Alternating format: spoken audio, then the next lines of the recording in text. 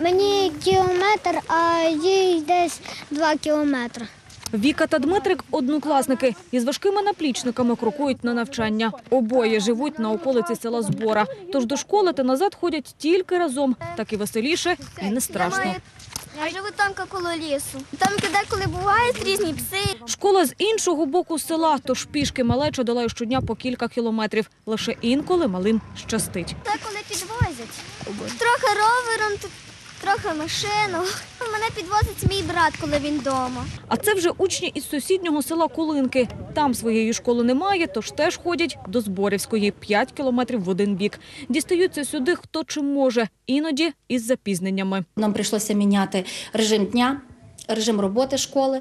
Ми раніше діти навчалися з 8 години. Ми змінили е, режим роботи школи і почали навчання з 9 години. Пані Мар'яна показує світлини, на яких їхній бусик вперше привіз дітей до школи. Це наш шкільний автобус. Так ми радісно його зустрічали.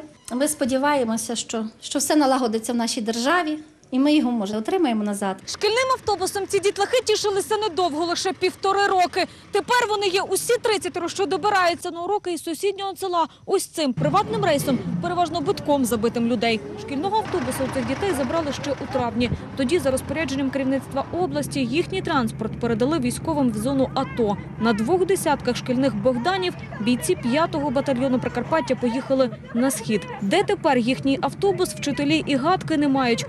Останній раз бачили його місяць тому, коли бійці приїхали на ротацію шкільними бусами, без вікон, дверей і навіть крісел.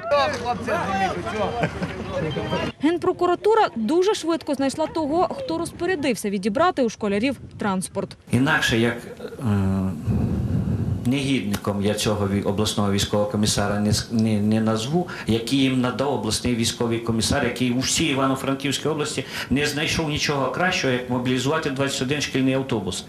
Скотина він. Він їх посадив у шкільні автобуси. Тепер не діти, не батальйон. Військовий комісар, якого Матіос називає негідником, нині на лікарняному. І він, і його заступники від коментарів поки відмовляються.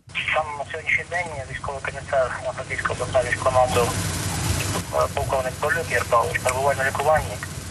Тому ми поки що утримуємося від е, коментарів до отримання інформації. Втім, не на камеру військові зізнаються. Рішення забрати в дітей автобуси ухвалювали не самі, дістали вказівку згори. Тим часом водії рейсових автобусів та самі школярі звикають до незручностей. Автобус Раз приїхали, нас затиснули п'ятеро на двох кріслах сиділо. Задля безпеки додому дітей супроводжують і педагоги. На три десятки учнів – два чергові вчителі. У мої обов'язки входить е, вивезти дітей зі школи і до зупинки, і везти сюди. Е, У мене е, моя основна робота в школі, а я мушу, мушу їхати з ними в автобусі. Цим приватним рейсом дітлахи їздять уже третій місяць. Тісняться з пасажирами, що повертаються додому, та із студентами. Аби вмістилися усі старшокласники змушені стояти. Ну а молодшим щастить більше. Їх беруть на коліна.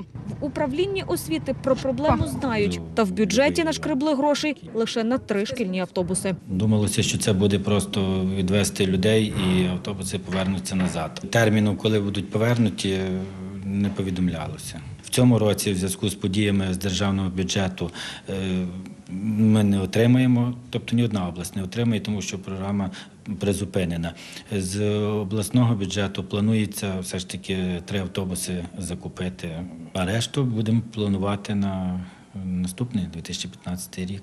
Та дітлахи не нарікають. Кажуть, можуть і пішки до школи побігати. Головне, аби вояки поверталися із перемогою. Шкільний автобус забрали на війну, і ми тепер їздимо простим автобусом по цих причинах, але ми не жаліємо автобус наш. Ми за мир в Україні. Ми хочемо, щоб наші воїни вернулися живими, здоровими з перемогою. Юлія Струк, Олександр Макушак. Програма «Вікна» СТБ.